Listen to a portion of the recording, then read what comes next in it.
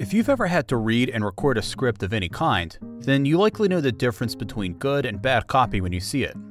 There's writing that looks beautiful on paper, but the second you start to read it aloud, well, it just sounds kind of off. Writing for audio, no matter the genre of your podcast, is more than just words that appear on a script. We had to take about 45 minutes of audio from Joan and condense it into a five minute segment, which is writing for audio. It is taking tape and writing it. It may not be your words, but it is still using those same creative skills to write a segment. Next, you'll hear from a producer who works with some of the most successful production companies in the world about how she writes for audio. My name is Stuart, and this is Audience, a Castos original series. That story's next.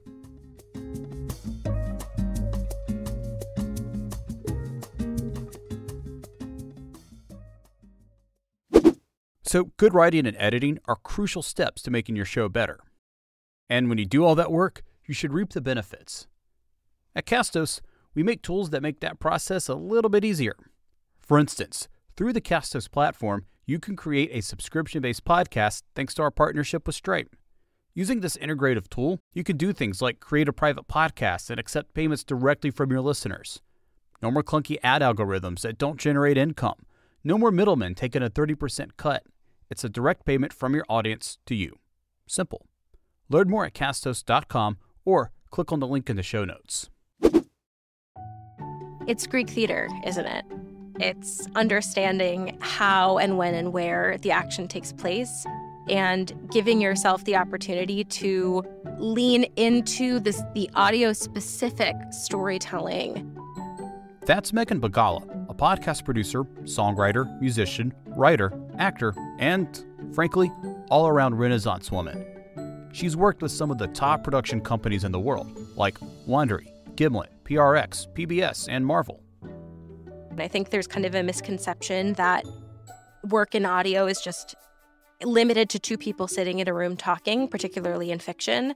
And you can have action sequences, you can have outlandish things, things that maybe wouldn't even be possible in a live visual medium because you are engaging with the listener and asking them to use their imagination and be a co participator in the storytelling. And so you're able to accomplish quite a lot in writing for the ear. Megan's a graduate of the Boston Conservatory with an MFA in musical theater. So naturally, after graduation, she pursued a career in the performing arts. Like a lot of freelance artists, she had a side hustle. In her case, she was teaching kids everything from music to Hebrew to cooking. Being in New York, I wasn't setting my own price. I was working for companies, and my lessons were prohibitively expensive for kids who could really benefit from having them. And I grew frustrated with some of the clientele who didn't want to be there, but whose parents wanted them to be in lessons. And I wanted to find a way to reach and impact young listeners' lives in more than just a one on one setting. Then Gimlet Media came calling, and she got a chance to work on a musical called Chompers. It's a podcast for kids that helps them establish good brushing habits. She's featured prominently on the series as a writer, performer, and songwriter. The series was a big hit, and from there she never looked back. It was the perfect culmination of her skills in a medium that allowed her work to be more accessible. As a lifelong listener of audio, it was a natural transition. My first experience with like audio storytelling probably came through my parents who listened religiously to This American Life in the car. And those those kind of stories, that way of narrative storytelling was like a huge part of my my childhood and then kind of on the other end of that my my dad is an actor in a or was an actor in a classical theater company out here in LA and so I kind of got to know the world of storytelling through audio because he would read me Shakespeare stories as my bedtime stories and so we kind of talked a lot about the power of language for a long time and kind of how you could use words to achieve your goals, tell stories, get what you want. And then, kind of before I started working in the audio industry, I listened to podcasts all day, every day. I live in New York. All of my subway commutes were like had accompanied by podcasts, accompanied by audio, music. Um, so I really was listening nonstop before joining the industry.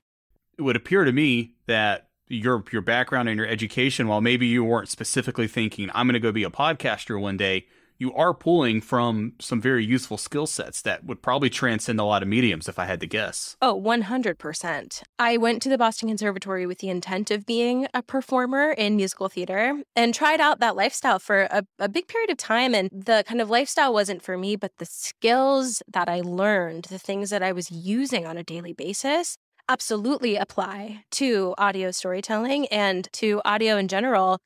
Understanding how a story is told um, obviously the medium is different, but understanding the components of building a story, understanding how your protagonist might try different tactics to achieve their goal, understanding how music might function in the world of storytelling, whether it is a musical number, whether it is a music bed or underscoring, understanding how different voice types interact with one another and can help or detract from your storytelling.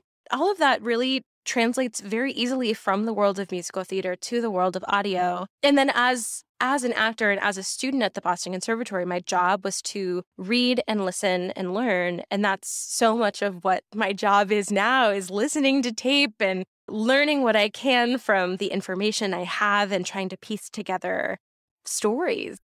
I love talking to musicians. I envy that skill set. Uh, I, I, wish I had it. Who, who are some of your musical influences? Uh, I should start by saying my mom is one of my first musical influences. My dad was a performer in a theater company, and my mom was a singer in a touring, like alt rock grunge band in the 90s. And I was heavily influenced by 90s like grunge music. I loved alt rock music. Alanis Morissette was my first concert. So the world of like 90s music in particular is something that I'm very fond of. And if you listen to my music enough, you will definitely find a lot of sneaky 90s references in it. But current day music references, you know, although I'm not a performer anymore, I am still a diehard musical theater fan. And so I think the way that you can tell a story with lyrics in the setting of a musical, I think is still a very powerful influence for me today. I love Sondheim. I love a lot of the things that are currently on Broadway. I love Six. I think it's so incredible um, the way that they are able to like blend and merge pop music with the story of the wives of Henry VIII is just absolutely stunning. And I do like definitely listen to some contemporary pop music as well. But when it comes to how I write music, I think I listen to a lot of musical theater. Part of your your uh, I guess continued education was participating in the PBS Kids PRX and CB P 2021 Ready to Learn Podcast Accelerator cohort. Mm-hmm. So, have you always had a passion for telling uh, stories for children?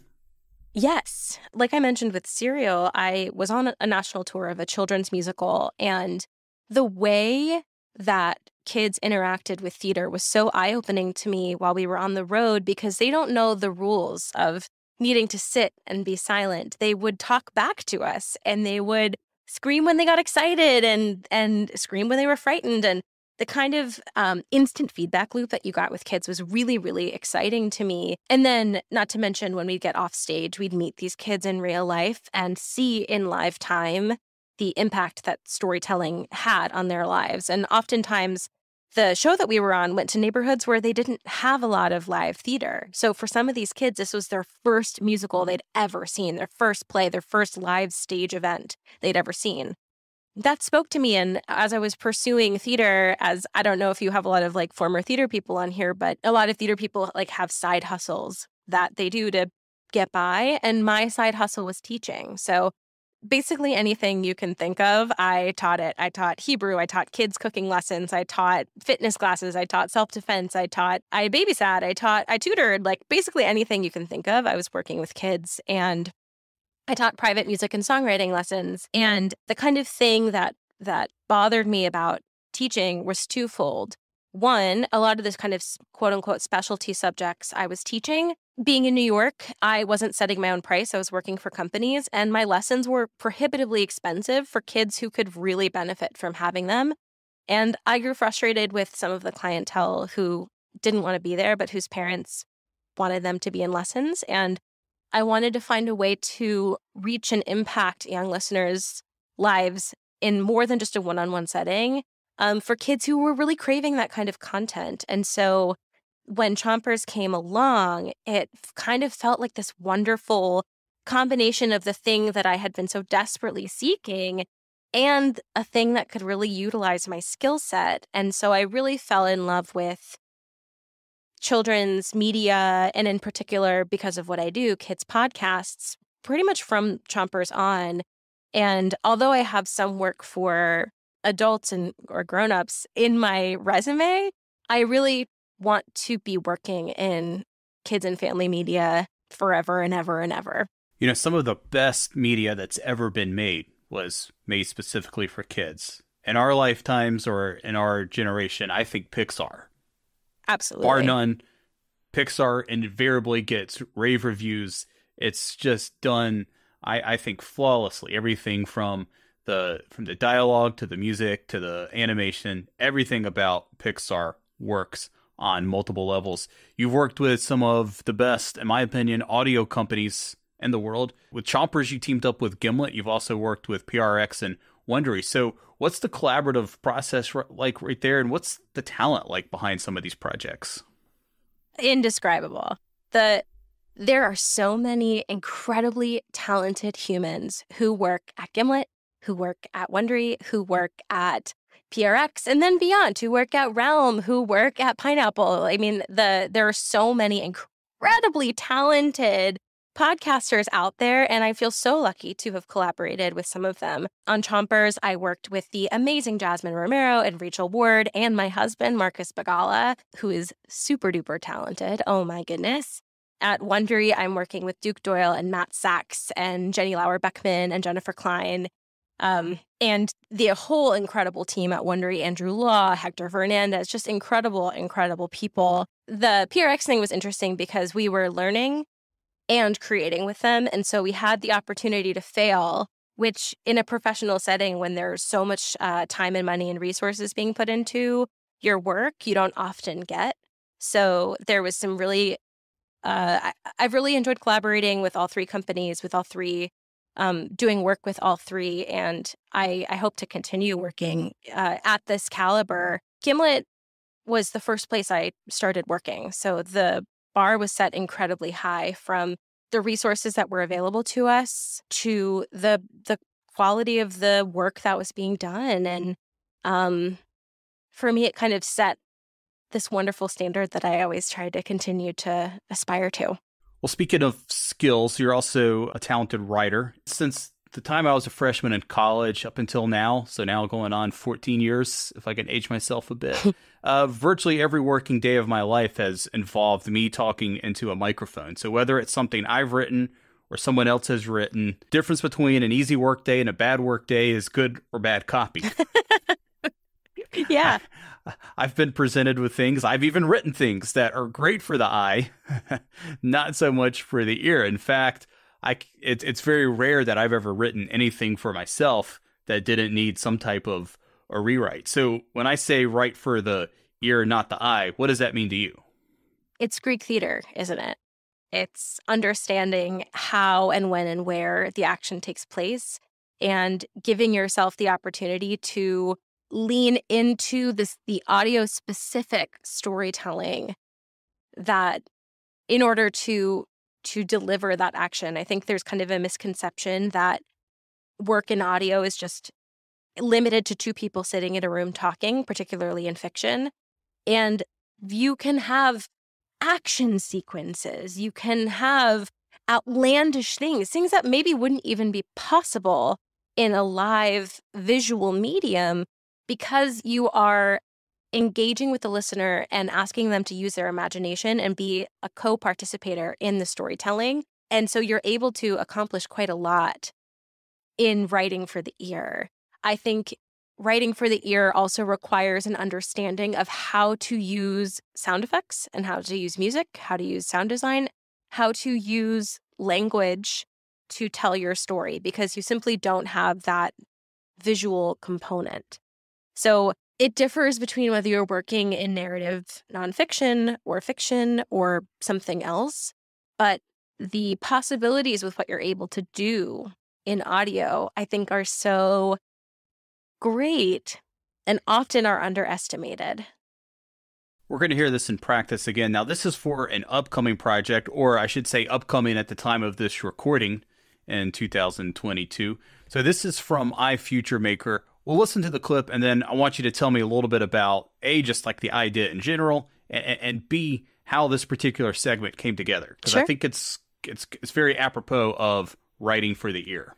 What does it like to be weightless? Violet, it is awesome. It is so much fun. There is no gravity in space, so you have to be weightless and you have to float around. But here's the key Do you float around looking really graceful, or are you floating around flailing and not looking so graceful? There's a little learning curve to be able to float gracefully. Good advice if you ever find yourself in, in outer space. so that's three year old Violet, and she's talking to an astronaut. So, uh, how did that segment come together? Wow. Well, it is it was quite a journey actually. So, what you just heard was iFuture Maker. It was developed through the Ready to Learn Accelerator Year 1 from PRX, PBS Kids and the CPB.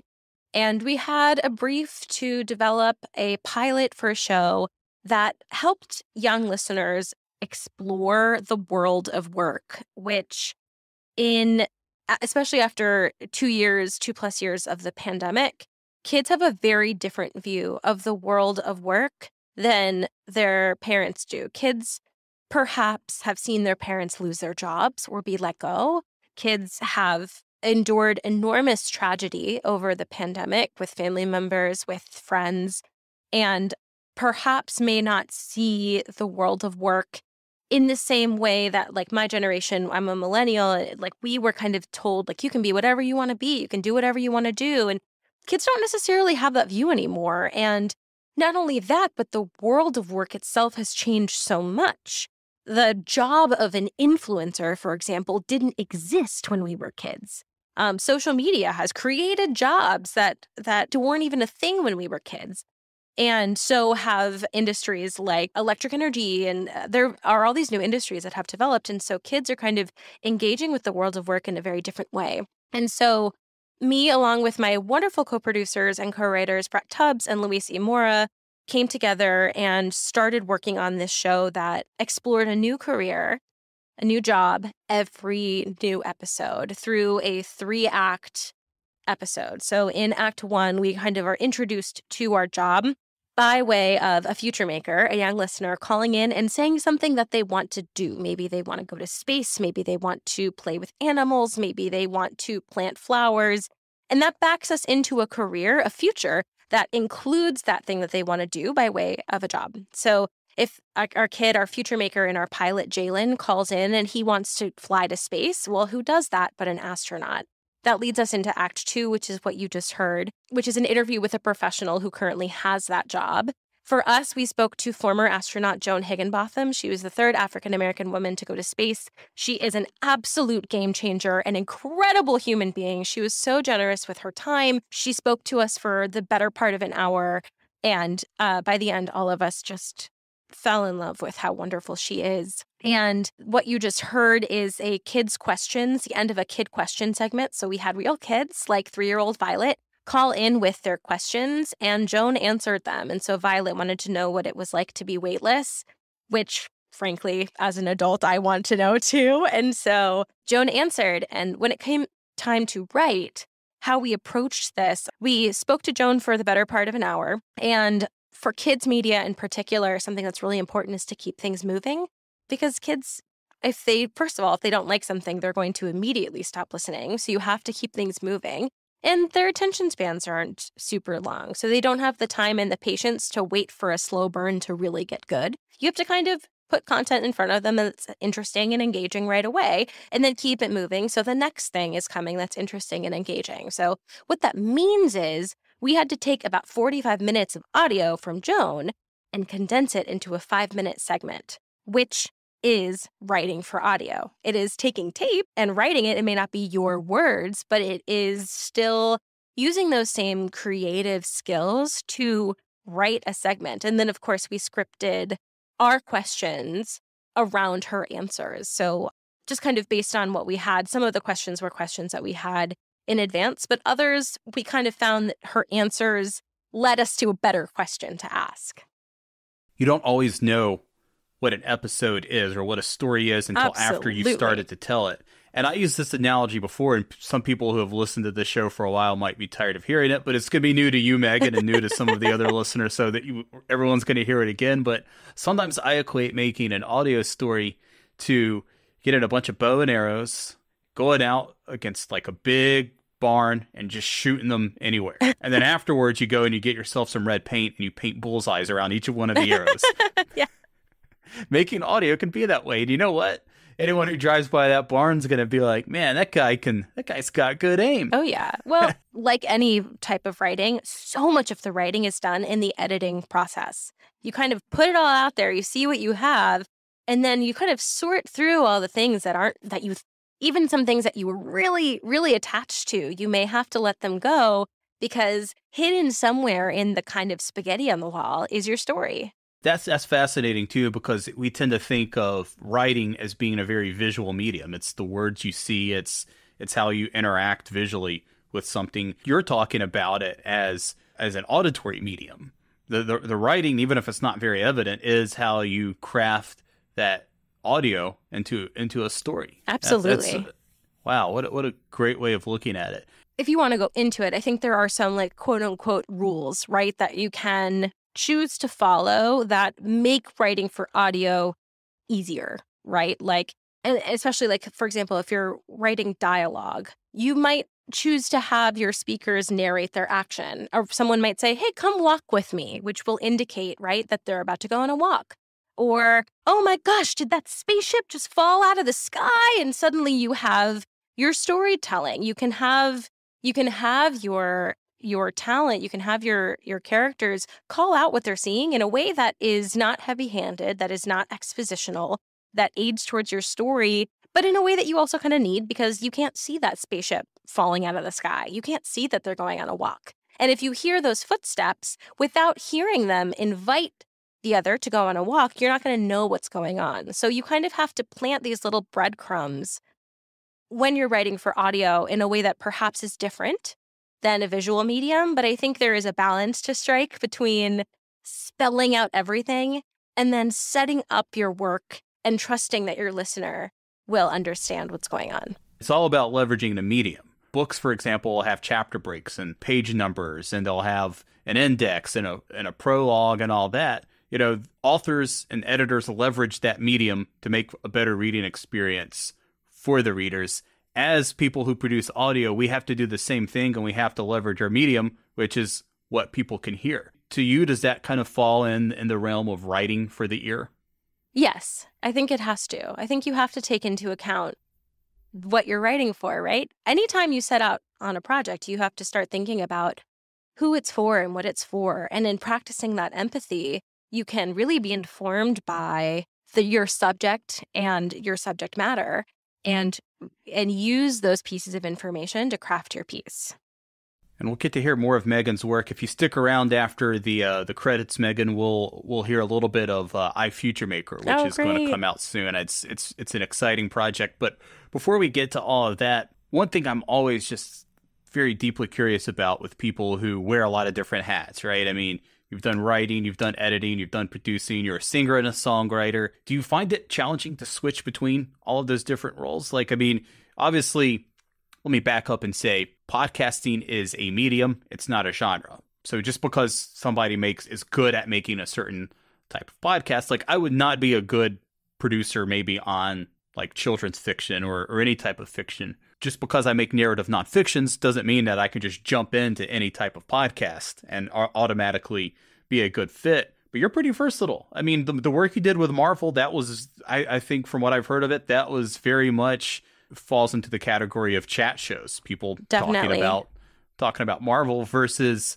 uh, you know these musicals that you're writing. You know, you wrote a feminist retelling of, of Hanukkah, I which is a very which is a very complex uh, piece of work. So, how do you balance all those roles, and do you find it challenging to to move from one to the next? Yes and no in terms of whether I find it challenging. I think from a hard skill perspective, no. Like, I know how Pro Tools works, I know how Logic works, I can play instruments. Like, these hard skills are ones that are pretty can pretty practically apply across the board.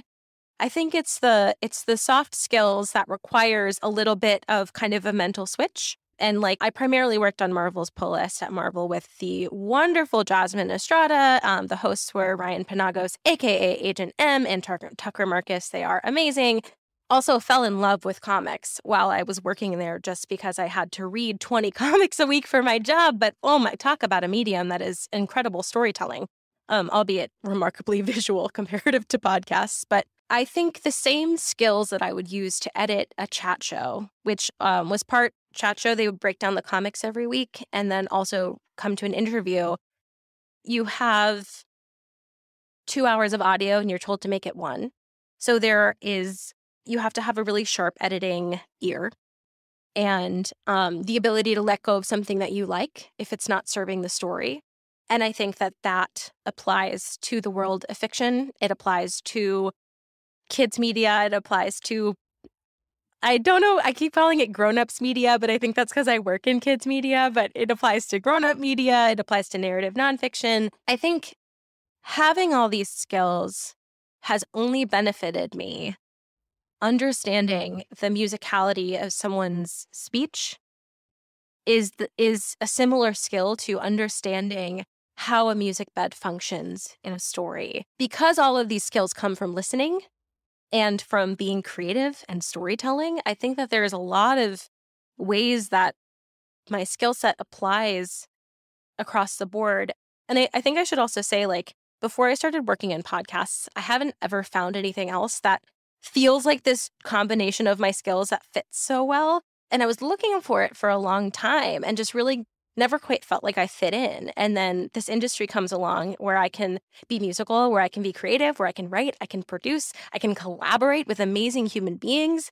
And it just like, it felt like such a light bulb over my head of like, oh my gosh, of course I need to be in this industry you know the the idea that like when you're writing for for media are you also writing for make parents and teachers and other you know adults who who might be in the room with the child yes yeah absolutely.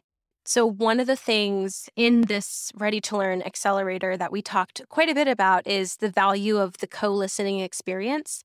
For most adults when they're engaging with podcasts it's just them and the audio in their headphones. And for young listeners there is a co listening experience that is also happening. They are listening with their older sibling, they are listening with a with a guardian they're listening with mom and dad or they're listening with grandma or who a teacher and his students. They're listening with other people. And so from that co-listening experience there's a few things that you have to take into account. Um, one of which being that the grown-up is often the gatekeeper. And if you make content that is obnoxious or unlistenable or offensive or um, inappropriate, that gatekeeper can take that content away. And so you have to be making content with both sets of listeners in mind. Um, the other thing that is so cool is that you're, eh, because you are writing for the co listening experience, you're also helping foster these incredibly crucial intergenerational conversations.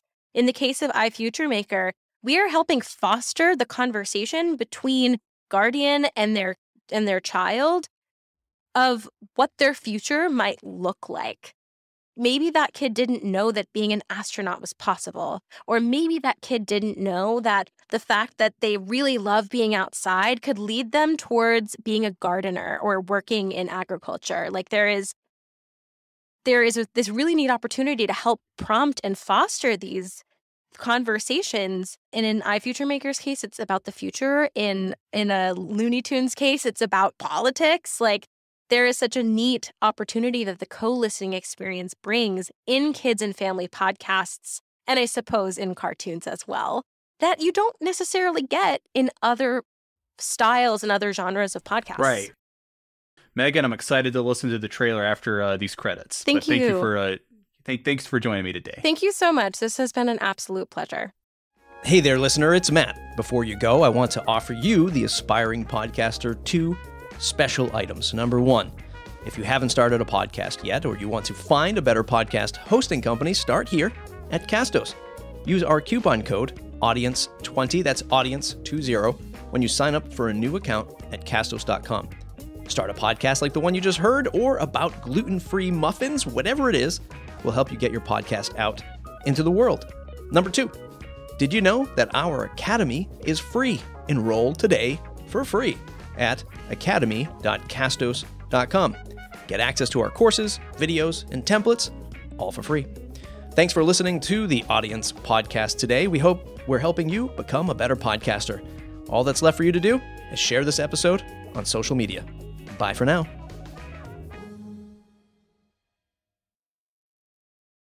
And now, a sneak preview for iFutureMaker, a series that Megan is working on with PRX. So when I was up there, we took the shuttle up to the International Space Station. And so the space shuttle and the International Space Station were joined, and we were floating around the Earth for 13 days that way.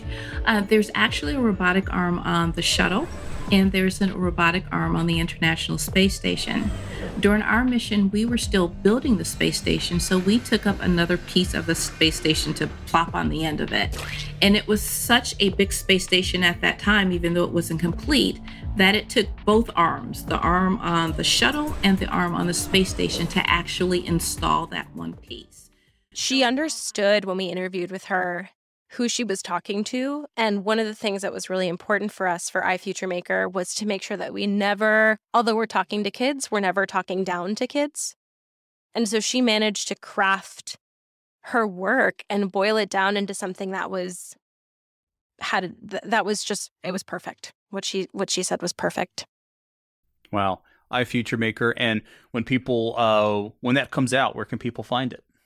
Um, TBD, you know, we are currently um, in the shopping process of bringing it out into the world. And so uh, I, I don't know if you have talked about on your show the, the process of shopping a show around, um, but it's really, uh, it, it's a complicated, lengthy, but worthwhile process.